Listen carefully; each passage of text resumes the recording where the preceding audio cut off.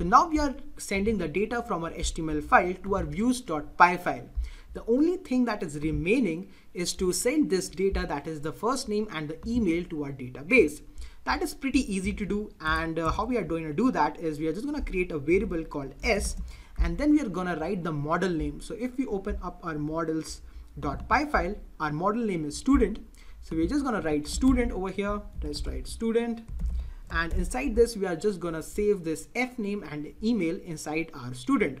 So in models, you can see that the variable is first name. So we are just to copy it inside our views.py file and f name equals to f name that we have received from the HTML file. And we are just to put in over here. And the second thing that we have uh, put in in our models is email. So we are just to write email equal to, and then we are to copy this email from over here and we are to put an email. Now that we have uh, stored this uh, thing inside s variable, actually we haven't stored it yet because it's showing an uh, showing an error on student. And that is because we haven't imported the models inside our views.py file. Just like we did in the admin.py file, we're gonna write from my site dot models import and then we are going to import the student model and as you can see that the error has disappeared so we are going to store all of this stuff inside this s variable and then we can just write s dot save and that's pretty much it our uh, data is going to be saved inside our database that is inside our student model so let's actually check it out and see if it's working or not so I'm gonna just stop the server and run it again. Let's click on run server.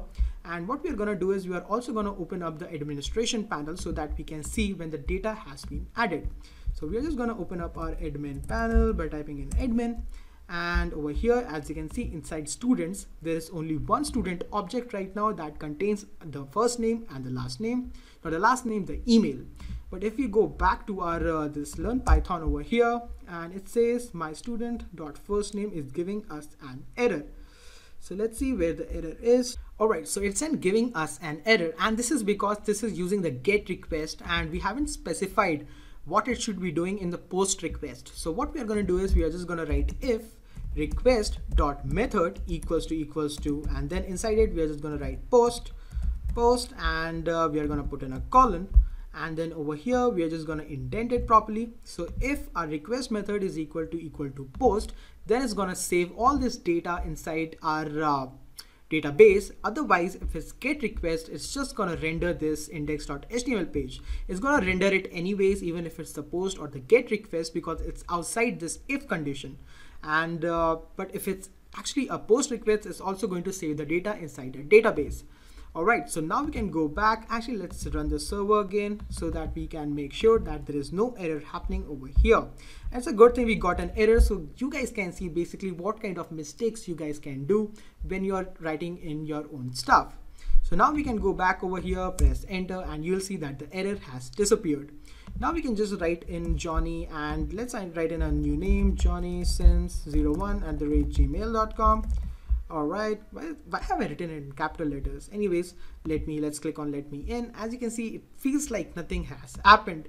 But if we go to our student database and press enter you'll see that there is this new student object that has been created. And if we click on it you can see that uh, okay so the email is not coming in properly. Let's see what the problem is. So we have copied in the email but we haven't changed the name over here. So if we change the name of the email over here not in capital let's keep it in small then it's gonna work properly. Let's actually try it out once more